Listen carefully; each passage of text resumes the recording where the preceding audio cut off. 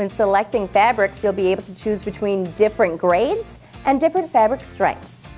The grade simply equates to the cost to manufacture the fabric, not necessarily the durability. This is dependent on the type of fiber used, the construction of the fabric, and the thread count. Most manufacturers use an alphabetical rating system such as A to H to indicate fabric grade, with A being the least expensive to H being the most expensive. Other manufacturers may use a number rating instead, with low numbers indicating the least expensive and higher numbers meaning more expensive. You can always check with the manufacturer if you are unsure of the grade of the fabric you are considering.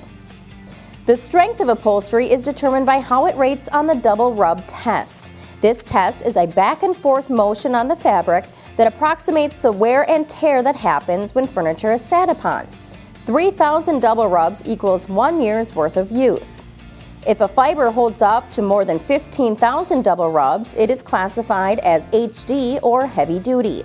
It's thicker than most fabrics and it's a good choice for high traffic.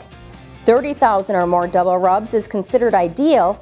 Commercial grade is 100,000 to 250,000 and you will find some that are even higher. Many companies, such as Beyond the Office Door, will allow you to order fabric samples so you know what you're going to end up with.